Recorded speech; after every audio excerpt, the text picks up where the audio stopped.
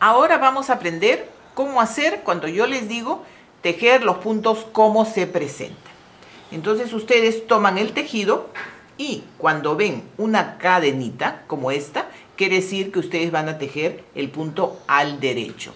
Y cuando ven un nudo, acá claramente se nota que ustedes van a tejer los puntos al revés.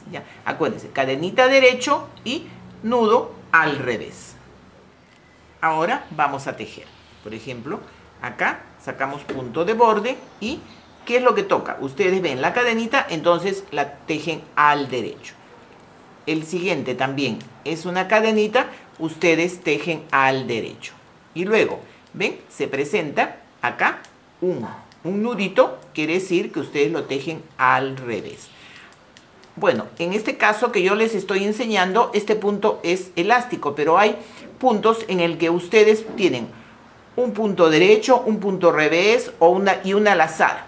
Acuérdense, el derecho lo tejen, como yo les acabo de enseñar, el revés y la lazada siempre se teje al derecho, salvo que en, cuando ustedes le, dicen, el punto, digan lo contrario.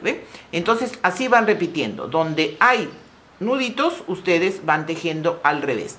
Y donde hay cadenitas, ustedes van tejiendo al derecho.